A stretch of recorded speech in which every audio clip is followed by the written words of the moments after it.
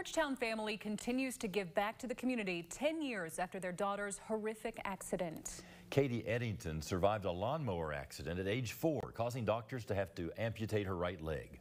Hannah Jackson talked with the family about the significance of this day and why they continue to give back. In 2013, the Eddington family experienced the unimaginable a father accidentally running over his little girl with a lawnmower.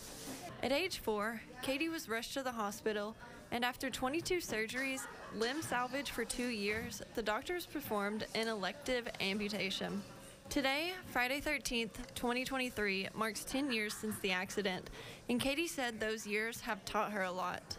Word of advice is probably just to push through it. That's all you can do. It's time will heal itself, and that's that's all you can do is just push through it.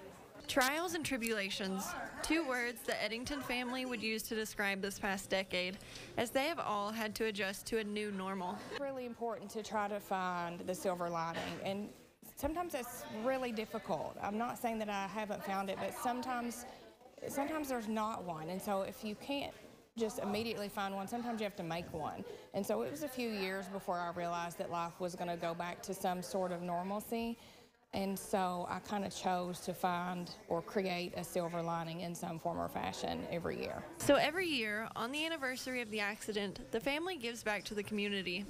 And so it was it's something we've done every year. And originally, again, I wanted to give back, but it was something to kind of distract us from the day and try to not be so sad, and then it just kind of turned into something that we do every year. This year, the Eddingtons are paying it forward with the Katie Gives Back blood drive to help those who helped her. All day Friday, community members stopped by to donate in Katie's honor. Her mom says it was Katie's choice and one the family hopes will help those who need it. In Georgetown, Hannah Jackson, Fox 56 News.